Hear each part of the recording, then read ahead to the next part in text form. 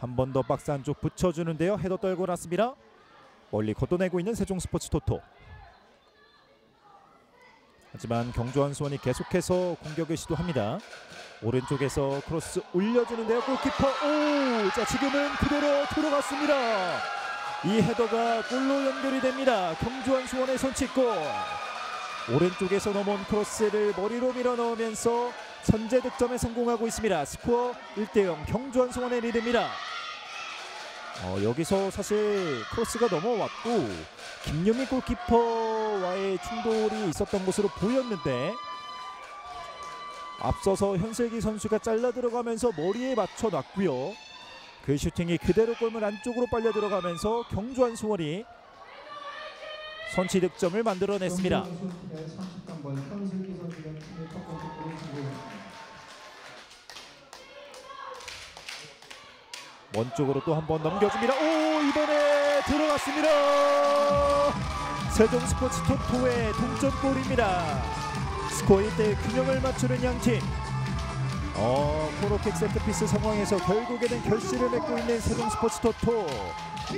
김도현 선수의 득점으로 보입니다. 일단 코너킥이 올라왔고요. 그리고 지나왔는데 어우 김도현 선수가 머리로 정확하게 밀어 넣었습니다. 앞쪽에서 확실하게 처리가 되지 못했던 상황. 김도현 선수가 머리로 골문 구석을 정확하게 겨냥했습니다. 자 이렇게 세종 스포츠 토토가 동점을 만들어내면서 이 경기 다시 출발하겠습니다.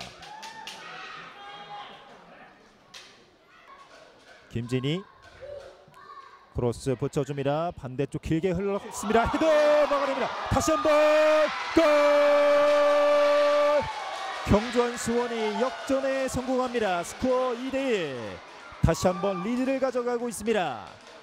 오늘 경기 코너킥 set piece에서 날카로움을 계속해서 보여줬던 경주한수원 이번에는 득점으로 그 결실을 맺습니다. 아 여기서 일단 코너킥이 날카롭게 올라왔고요. 큐커 선수가 머리에 맞춰놨고 다시 한번 헤더가 있었는데 골키퍼가 선방을 했습니다만 재차 이어지는 상황에서의 슈팅 광민정 선수가 득점을 만들어냈습니다. 박스 안쪽에서 여러 차례 헤더가 있었는데 세 번의 헤더 끝에 득점을 만들어냈습니다.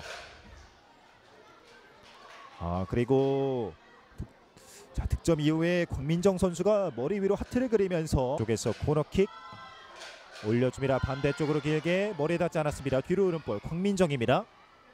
장슬기에게 장슬기 오른발로 붙여줍니다. 헤더 골! 교카와가 득점을 만들어냅니다. 스코어 3대1 오늘 경기 확실한 황점을 찍고 있는 경주한 수원입니다. 교체 투입된 교카와가 머리로 득점을 만들어내면서 팀에게 귀중한 추가골을 선사합니다. 아 이렇게 되면 격차를 두 골로 벌리게 됐고요. 경주한 수원이 승점 3점을 확보하기 위한 9분 응선을 넘었습니다. 아 사실 이 큐카와 선수의 헤더도 헤더지만 앞서서 이 장슬기